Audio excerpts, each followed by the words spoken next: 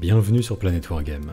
Alors, on commence à entamer une série de chiffres sur notre calendrier de l'Avent qui ont tous une connotation particulière, si bien que ça va nous faire entrer dans un cycle de 4 vidéos, et certains auront déjà deviné vers quoi je veux vous emmener rien qu'avec cette introduction.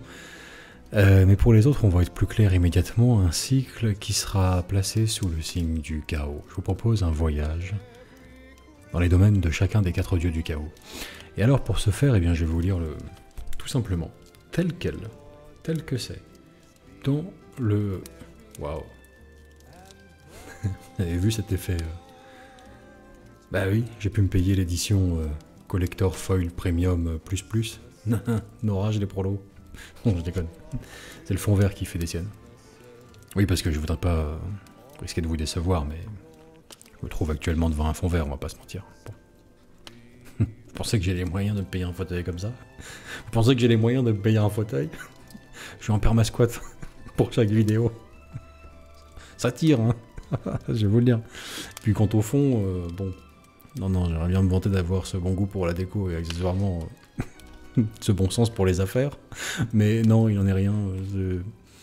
Si le fond vert venait à tomber, à l'arrière, je peux vous dire... euh, on a peut-être une déco de Noël aussi, mais c'est plus, c'est plus le Noël d'Oliver Twist, quoi, si vous voulez. bon, allez, Euh, c'est parti. Alors,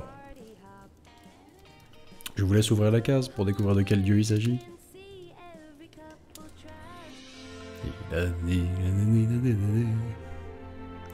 Slanesh, Slanesh. Et bon, bah, allons-y. Allons-y. Alors, pour une fois, je vous propose un format un petit peu inédit.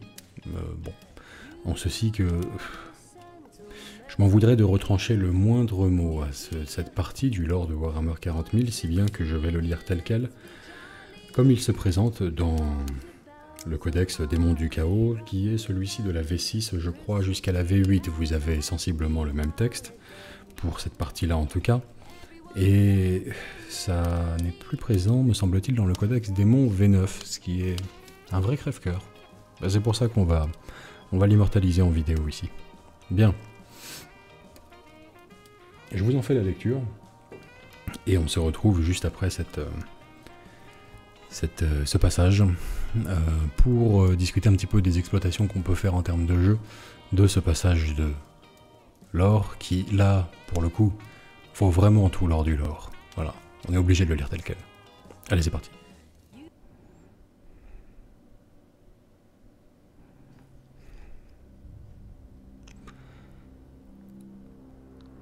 Slanesh est le seigneur des plaisirs, le prince du chaos qui se voue à la poursuite de toutes les jouissances matérielles et à la subversion de toute morale.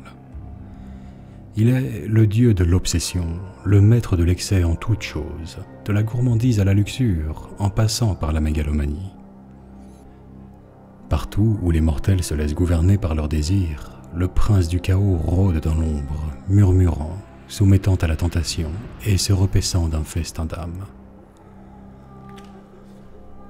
Le palais de Slanesh. Peu de dieux accueillent les intrus dans leur empire, mais il en est un qui aime tenter les visiteurs de son domaine. Ceux qui osent pénétrer dans le fief du prince du chaos courent le risque de demeurer piégés pour l'éternité par les délices qui s'y trouvent. Il est divisé en six provinces, arrangées en cercles concentriques autour du palais des plaisirs. Le royaume de Slanesh peut passer pour un véritable Éden, mais tout n'y est qu'illusion. Chaque cercle est non seulement une célébration des désirs de Slanesh, mais aussi une véritable fortification. Un intrus ne peut en effet atteindre le palais des plaisirs qu'après avoir traversé les six cercles. Chose que très peu d'êtres, mortels ou démoniaques, ont accomplie. Pourtant, parmi les visiteurs venus de l'univers matériel, il y en a un qui a marqué le souvenir de Slanesh. Un chevalier de l'Adeptus Astartes, dont la volonté était aussi dure que l'adamantium.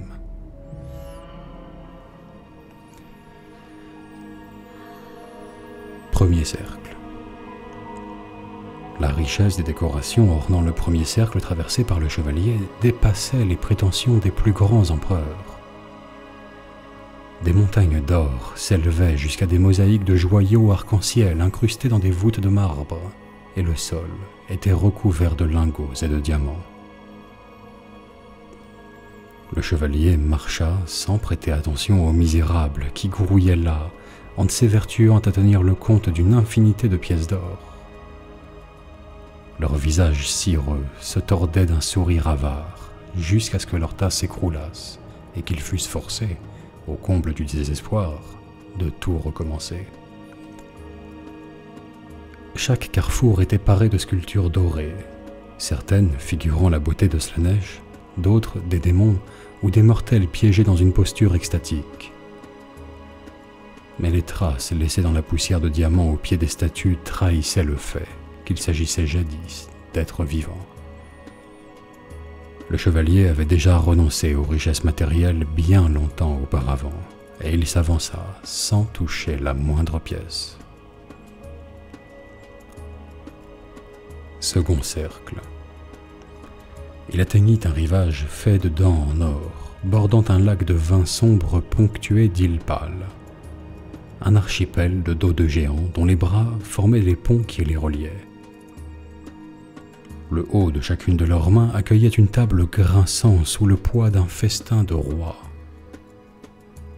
Là, il vit des mortels se baffrer, incapables de satisfaire leur faim, pendant que d'autres semblaient vouloir vider le lac en le buvant.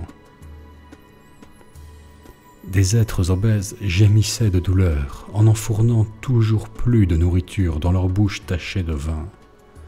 Le chevalier pressa le pas dégoûtés par le spectacle des restes de ceux qui avaient tant mangé qu'ils avaient littéralement explosé.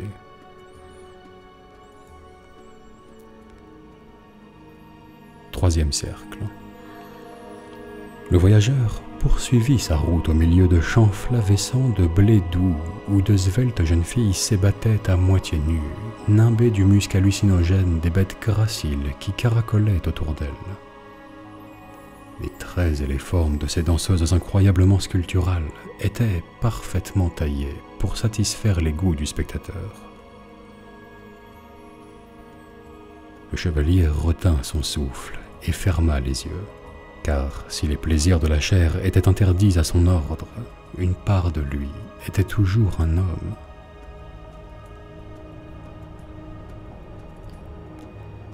Les nymphes chantantes l'encerclèrent en frôlant son armure argentée et en murmurant toute la volupté qu'elles avaient à lui offrir. Mais il ne céda point. Les têtes et les membres tranchés qui jonchaient le sol révélaient la vérité derrière les mensonges mielleux. Les paupières closes, il abattit les démonettes séductrices les unes après les autres, laissant sa révulsion guider sa lame scintillante.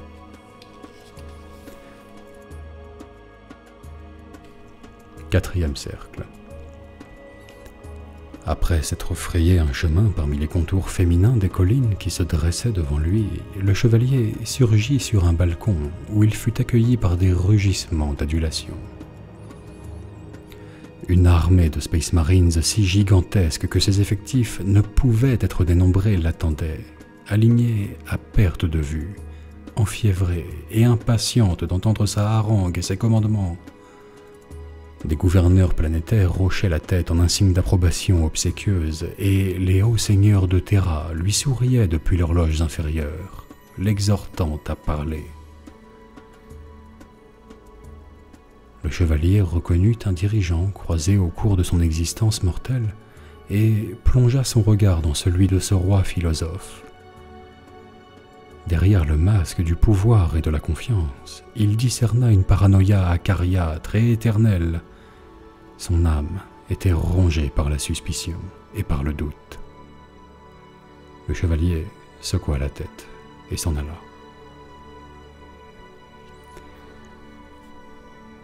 Cinquième cercle.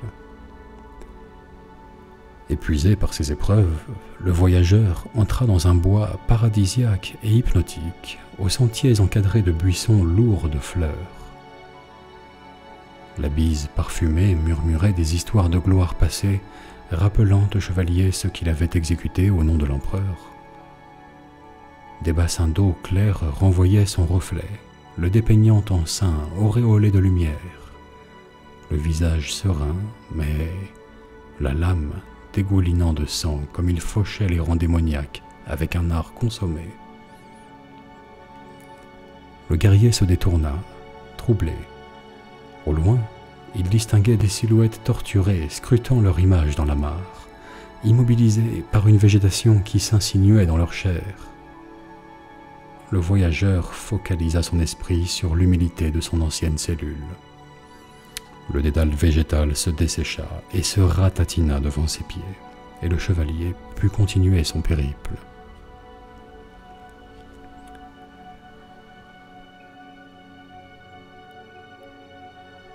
Sixième cercle. Une plage infinie s'étendait devant le voyageur, dont l'esprit était bercé par des cœurs célestes et par le clapotis apaisant de la mer. Les muscles du chevalier imploraient le repos, ne serait-ce qu'un petit instant. La chaleur du soleil de fin d'après-midi calmait son âme, et la douce marée commença à éroder son esprit. Ses yeux fatigués peinaient à rester ouverts, mais sa vue était encore assez claire pour discerner l'horrible évidence. Le sable blanc du bord de mer n'était autre que les ossements réduits en poudre de ceux qui s'étaient reposés là et qui avaient sombré à jamais dans un coma paresseux.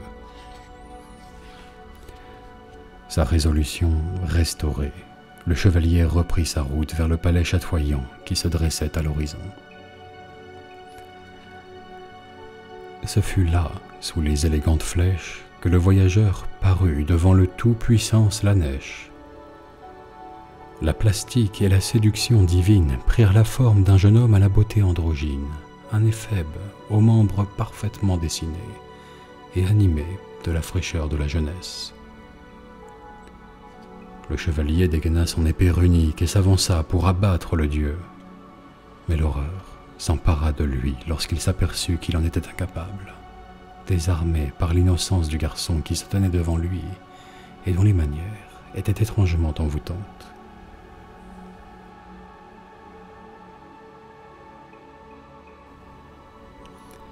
Aussi pure soit-elle, la flamme est éteinte par la vague, cet unique moment de doute signa la perte du voyageur. Il tomba à genoux, la tête baissée, pour recevoir l'adoubement du prince, qui scella son âme pour l'éternité.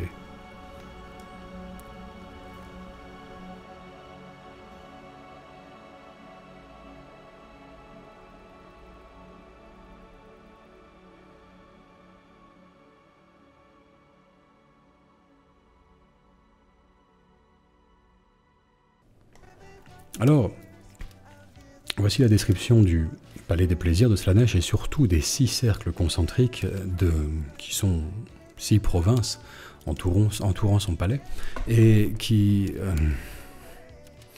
en gardent l'accès, en somme. Tellement de choses à se dire à ce sujet.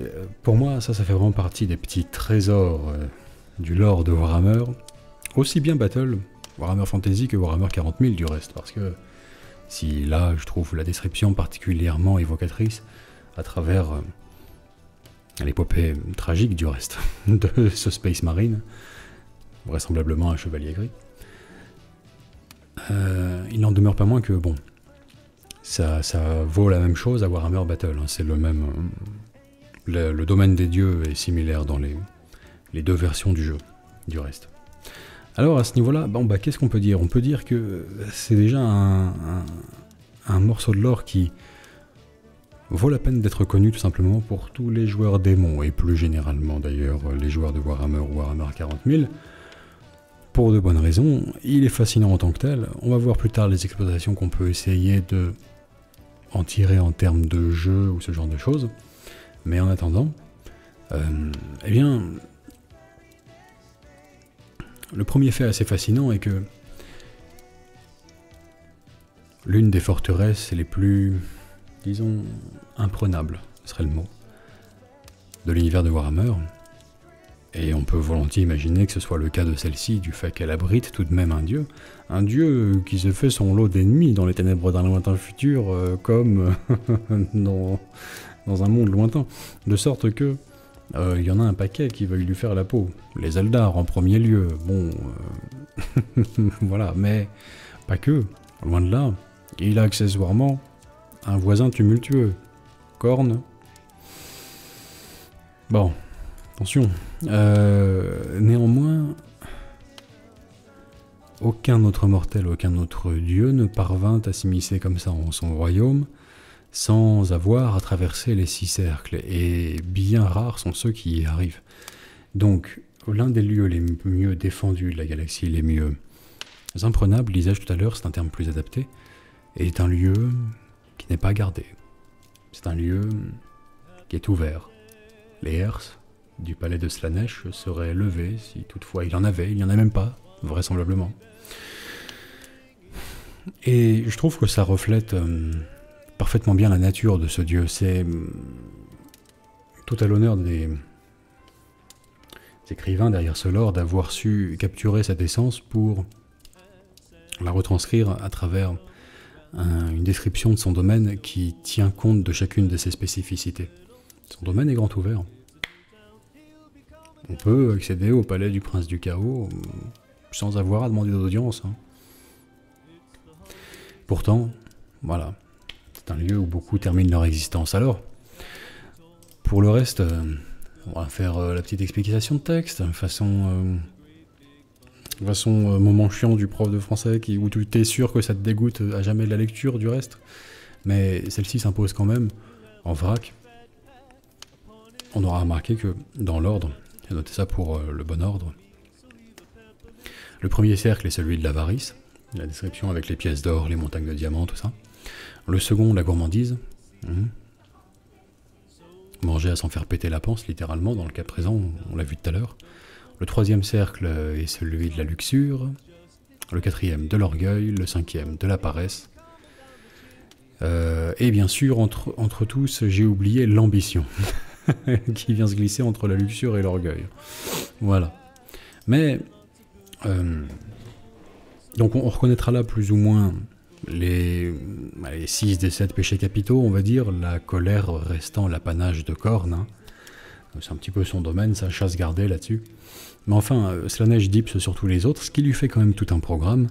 Et là, je trouve que ça devient intéressant parce que ça fait partie, c'est pas le seul, hein, mais ça fait partie des morceaux de l'or concernant ce dieu, qui appuie bien fortement avec... Euh, sur 5 des 6 boutons, ça appuie simultanément pour dire bah non, à un moment donné, euh, contrairement à ce qu'on peut voir sur Joy Reactor, sur euh, DeviantArt, etc., euh, c'est pas qu'une usine à waifu Shimail, un petit peu, hein, le temple de ce dieu. Voilà, bon, ça va un petit peu au-delà, n'en déplaise aux aficionados du fan art. Et là, ça révèle un peu chaque facette de ce dieu, dans ce qu'il peut, peut avoir de plus intéressant. Le dieu de l'obsession, sous toutes ses formes. Toutes ses formes. Voilà. Et euh, bah, en vrac, alors, pas besoin de vous réévoquer euh, le thème de chacun des cercles un par un, mais c'est par conséquent naturellement aussi le dieu des artistes, des esthètes, des perfectionnistes, euh, tout ça en somme. En tout domaine, tout art, tout... voilà, bon, c'est juste fascinant. Donc, ça peut ouvrir un petit peu des portes par rapport à ça.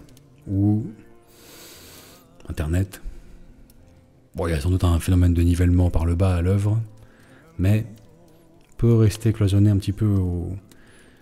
Bon, voilà, il drop direct sur le troisième cercle, il reste là, et puis il y bouge plus, quoi. Bon, quoi qu'il en soit.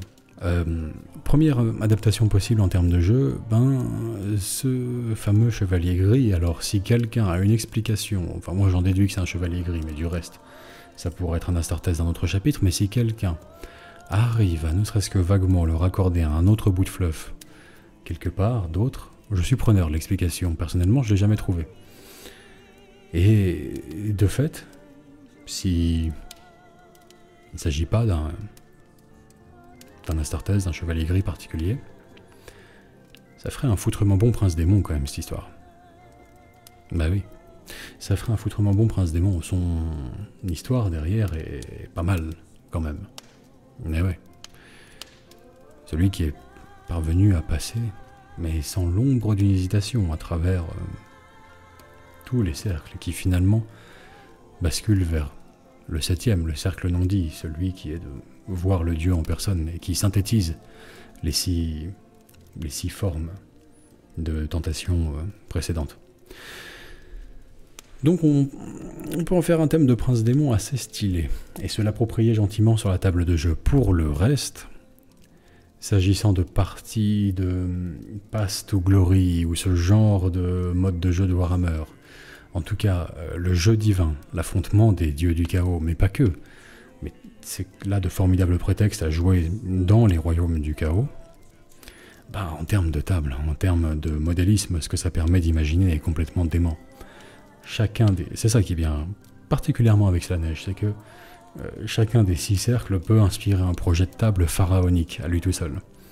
Un ou peut-être on risquerait de perdre une part de son âme, si ce n'est euh, le restant de ses jours sur cette terre, hein, dans un projet fou, noyé dans le, polystyrène et le carton-plume.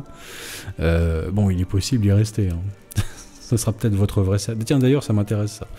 Dans lequel des six cercles vous pensez-vous le plus susceptible de basculer? En toute honnêteté, entre nous soit dit, et je le répète à personne. Gentiment. Mais ça, pourrait être intéressant. En jouant le jeu, hein. On n'y va pas avec le dos de la cuillère, je veux dire. Il ne s'agit pas de. Euh, voilà.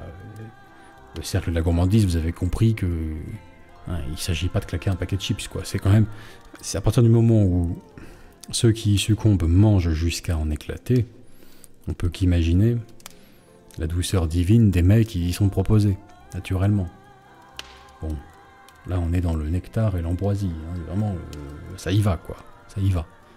Donc si vous êtes du genre à dire bon, euh, je suis un honnête homme et un gentil garçon, mais euh, faut voir à pas s'approcher de mon assiette. si vous êtes de ce genre-là, n'hésitez pas à répondre quoi. Le numéro de votre cercle, ça m'intéresse. Celui dans lequel vous êtes sûr que vous basculez quoi. C'est mort. Pour le reste, euh,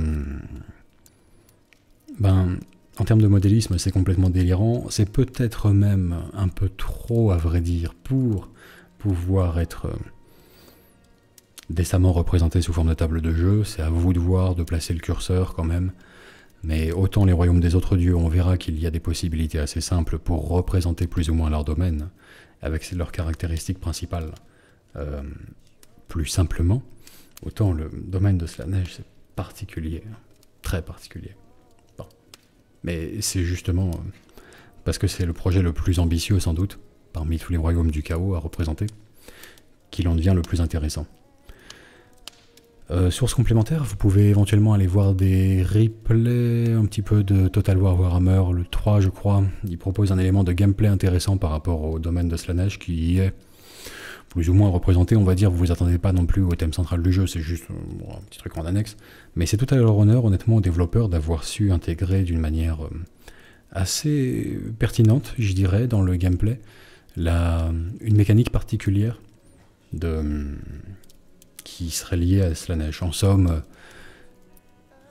la particularité de son domaine est que chacun des cercles vous propose une récompense en termes de jeu et pas une récompense anecdotique ou une récompense euh, euh, symbolique. Non, vraiment, c'est quelque chose de substantiel, de significatif, qui vous donne envie de prendre le magot et de ne pas aller plus loin c'est plutôt bien foutu.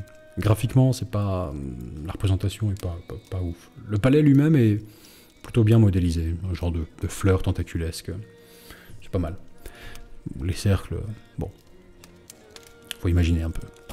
Donc voilà. Et puis, qu'est-ce qu'on peut imaginer comme intermédiaire? Eh bien, moi j'imagine volontiers qu'on puisse euh, vous savez, quand je lis cette description-là, ça me fait penser ne me demandez pas de le sourcer trop précisément historiquement, mais à hum, certains papes et cardinaux de l'église de Saint-Pierre de Rome, euh, de temps anciens, hein, il y a quelques siècles de cela, qui, hum, ne se comportaient pas forcément à la hauteur euh, euh, qui pourtant est suggérée par leur statut, hein, théoriquement, et rivalisaient, euh, on va dire, de bon goût ou mauvais goût pour afficher leur statut supérieur à celui de leurs petits camarades d'église, quoi.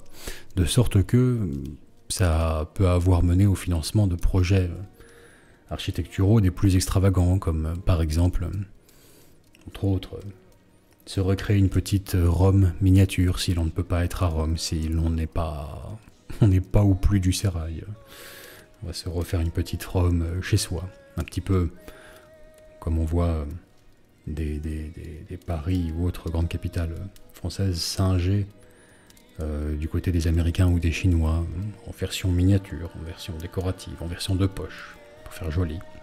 Et euh, ça peut ne pas être inintéressant pour remettre à sa propre hauteur, en fait, le, la barre à passer pour représenter quelque chose qui soit qui fasse écho à cette description là mais sans être aussi délirant que cette description on peut imaginer, en vrac, un noble, une famille, une dynastie, un confesseur, archi-confesseur, cardinal astral, euh, quelque chose de cet acabit, peu importe, un, noble, de manière générique, un aristocrate du 41e millénaire, qui, euh, tout entier, lui, et peut-être aussi, tant qu'à faire, sa dynastie, gagné entièrement hein, au prince du chaos, tente de se reproduire son petit palais. Tente de se reproduire son petit palais, y compris jusque dans la description des six cercles qu'il aurait reçus en vision. Et alors on peut avoir des choses hybrides, mêlant le tout à fait terrestre à des distractions euh, d'outre-monde, en somme. Hein. On peut avoir une cité ruche, dont les étages, les strates, figureraient un petit peu ces six cercles, d'une certaine manière, sauf qu'ils seraient superposés et en cône, plutôt que en, tant que jardin entourant un palais. Par exemple. Et à ce moment-là, on peut, on peut mêler le décor habituel, l'environnement classique Necromunda, etc., euh, avec à chaque fois une déclinaison évoquant l'un de ces l'une de ces six tentations. Ça peut être intéressant. On peut avoir, euh, à proprement parler, un jardin. Autre végétal, du reste, mais qui réellement figure ces six cercles d'attentation autour du palais d'un cardinal, euh, prêtre, confesseur, quelque chose comme ça. Qui lui-même s'est fait son mini truc euh, de cet acabit. Peut-être que les. Peut-être même que ça n'ira pas plus loin et qu'en termes de gameplay entre guillemets sur table hein, pour les parties de figurines, ce, ne sera qu'une simple évocation. Peut-être que euh, on est là dans des jardins entièrement végétaux, euh, jolis au demeurant, et à chaque fois ce ne sont guère que des statues qui vont symboliser tour à tour l'avarice, la gourmandise, la luxure, etc. Peut-être qu'une campagne en 6 à 7 épisodes de conquête du palais se contentera de se passer dans ces, à travers ces six, ces six décors différents, sans que des affaires, comment dirais-je, purement chaotiques ne s'immiscent vraiment là-dedans, simplement des statues qui évoquent ces choses-là. Euh, ou, bah, mieux encore, bon, moi c'est plus. Euh, même si c'est déjà assez sympa, hein, la première idée, mais mieux encore, on peut l'imaginer aussi. Euh, que les deux s'entremêlent et que on est déjà en raccourci toutes les, petites tentations d'une vie qu'on trouve chez Slanesh qui soient présentes dans cette espèce d'ersatz de copie de jardin, plus facile à représenter en forme de table, euh, avec par exemple, que sais-je, disons un certain cercle euh, des tests de commandement à faire pour les unités, pour voir si les mortels succombent à l'attrait de la richesse, euh, d'avoir 6, 12 démonettes, tant qu'à faire autant reprendre le chiffre clé de Slanesh.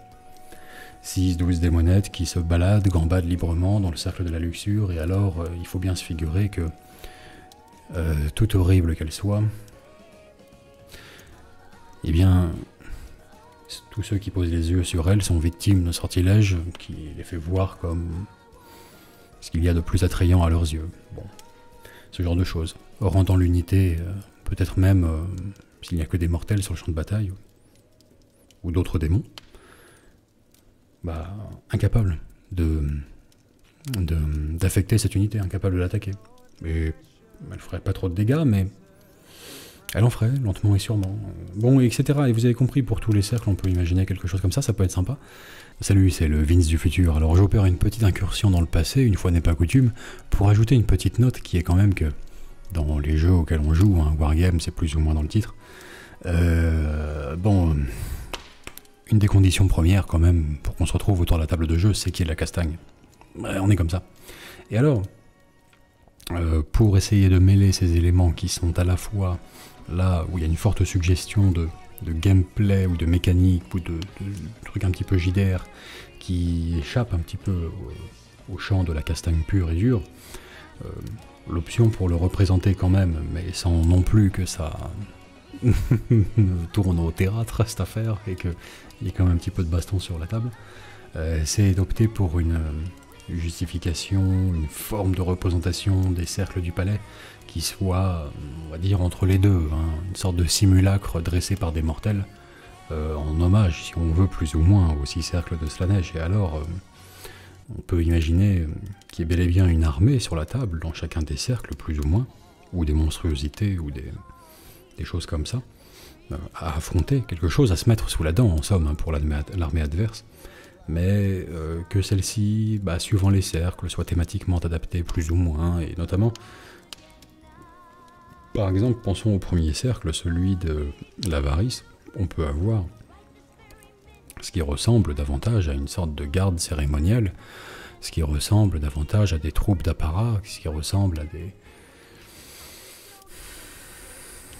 plus ou moins un comité d'accueil, enfin je sais pas, le, genre de le genre de troupe euh, qui est là euh, plus pour le spectacle qu'autre chose, du moins en apparence le genre de troupe qui, qu'on pourrait trouver dans le port marchand le plus, plus, plus riche du monde, quelque chose de cet ordre-là. Et alors, euh, euh, une mécanique qui fasse par exemple s'éroder un petit peu les escouades adverses de l'attaquant, si elles sont euh, humaines notamment, mais pas que.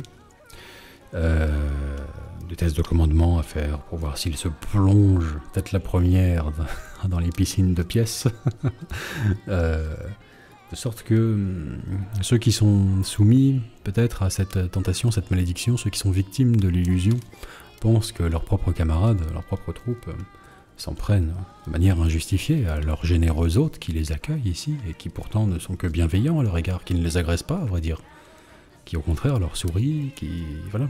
Et à ce niveau-là, les nouvelles figurines sorties pour Slanesh, les mortels pour Age of Sigmar, sont parfaits leur apparence un petit peu perse et très luxueuse là, très tout en en soie, en mousseline, en, négligé de soie, mais plutôt en mousseline, en, velours, euh, tout ce truc là peut bien se prêter à des conversions, que ce soit pour euh, Age of Sigmar ou pour Warhammer 40 000.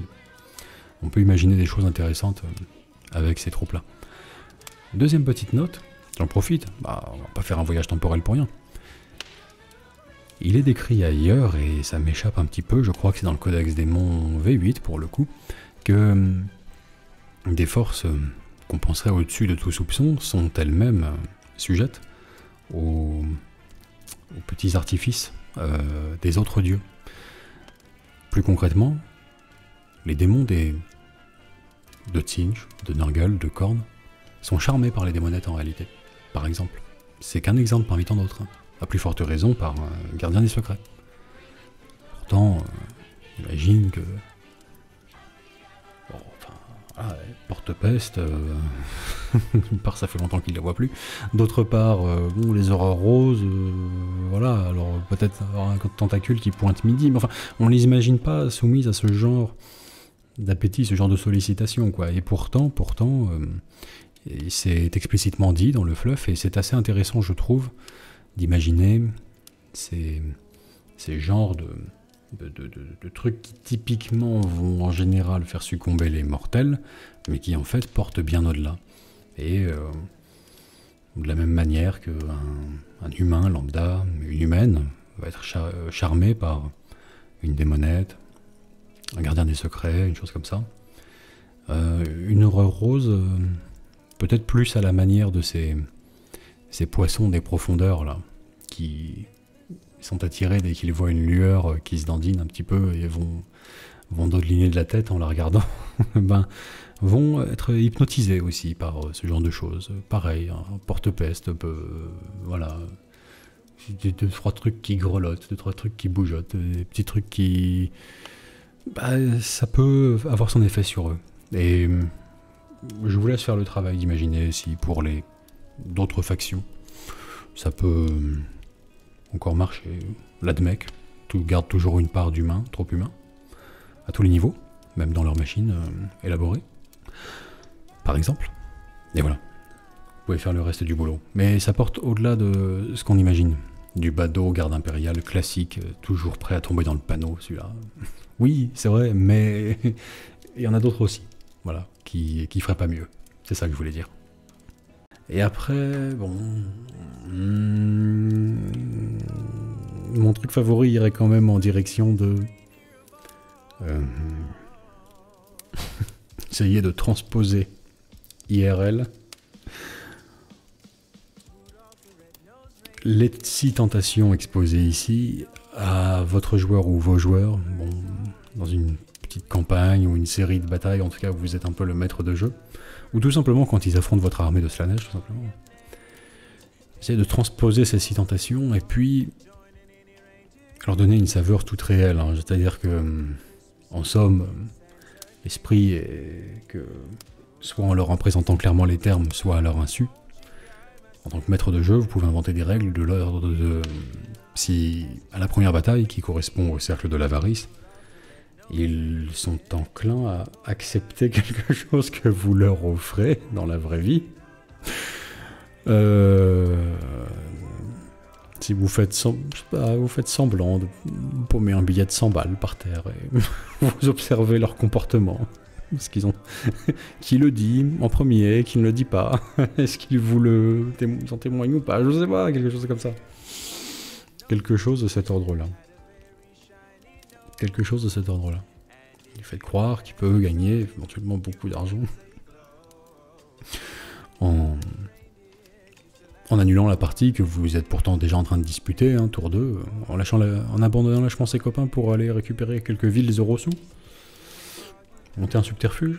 S'il accepte, euh, bon, il a perdu, ou malus permanent, ou permamalus pour son, son, son QG, ou un truc comme ça. Et pareil, un petit peu pour chaque cercle, vous avez compris l'idée, quoi. Vous avez compris l'esprit. Quelque chose de, de cet ordre-là, quoi. En somme. Pourquoi pas Vous invitez les plus avenantes de vos copines. Alors de la troisième partie, et puis, et puis ma foi, euh, bon, en mode canap et S'il ne, serait-ce que leur répondre, pauvre de lui. Voilà, bon, vous pouvez euh, prédéterminer des effets en jeu sur la partie qui, vont faire écho à ces trucs-là. Bon, ça peut être le truc le plus marrant. Mais enfin, ça c'est un petit peu Age of Sigmar V1 dans l'approche. Hein. Pas au goût de tout le monde du reste. Hein. J'ai déjà pu le remarquer. Ça, a fait un petit peu plus un, un mauvais retour de flamme pour euh, Games Workshop quand ils avaient essayé de développer des règles comme ça pour Age of Sigmar V1. Mais euh, je dois dire que moi, elles sont un petit peu mortes trop tôt, celles-ci. Elles étaient tout à fait à mon goût. Bon, je vous laisse imaginer, exprimer, partager avec nous les idées que ça peut vous inspirer, cette description du palais des plaisirs de Slanesh et surtout de la manière dont il est gardé. Parce que je trouve que, s'agissant des domaines du chaos, c'est probablement le plus subtil et dont le fluff est particulièrement enrichissant à lire. Voilà, c'est un de mes favoris. On va voir dans les jours suivants que les autres euh, ont des arguments pour eux, ils sont pas mal non plus. Allez, sur ce, je vous dis euh, bonne peinture, bon jeu, et à bientôt. Ciao. Et j'en profite pour rappeler que si vous voulez vous laisser tenter par Bianca Minetti et Alessandro Minetti, la suite des Minetti, le Land Raider des Minetti, eh bien, ma foi. Il va falloir concéder un petit peu sur l'avarice et lâcher quelques euros sous à Planète Wargame, car je les décernerai par tirage au sort à l'un de nos soutiens le 24 décembre.